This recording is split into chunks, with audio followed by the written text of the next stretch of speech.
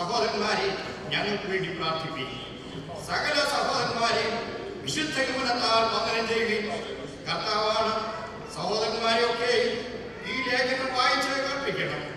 നമ്മുടെ കർത്താവായ യേശു ക്രിസ്തുവിന്റെ കൃപ നിങ്ങളോടുകൂടെ ഇരിക്കുമാറാകട്ടെ.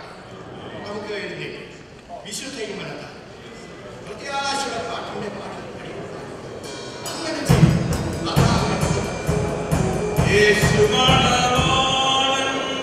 Lynch